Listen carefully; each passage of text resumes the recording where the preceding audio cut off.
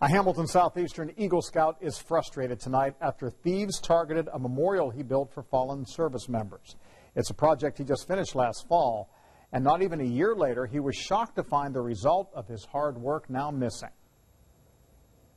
In that moment, I felt nothing but pride and happiness for all the hard work that went into it. Zach says he will always remember the day he laid the last brick for his Eagle Scout project at Arnett Cemetery.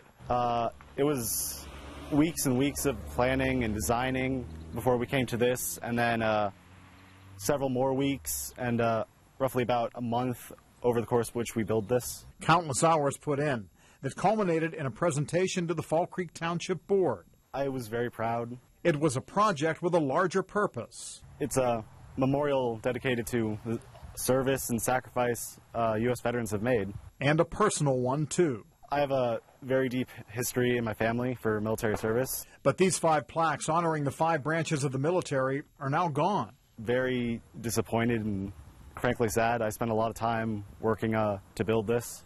A senseless crime that required some effort. I have no clue because they would have needed uh, some kind of drill or screwdriver with them to take it. I have no real clue who would do this. Someone looking for some kind of kick from it or just the thrill I guess, of stealing something where they think they can get away with it. But while Zach doesn't know why this happened, he does have a message for the thieves.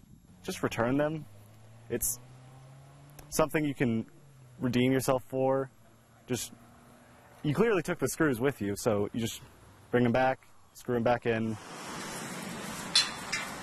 If you know anything about those missing plaques, you can contact the Fall Creek Township office. We have their information posted at WTHR.com.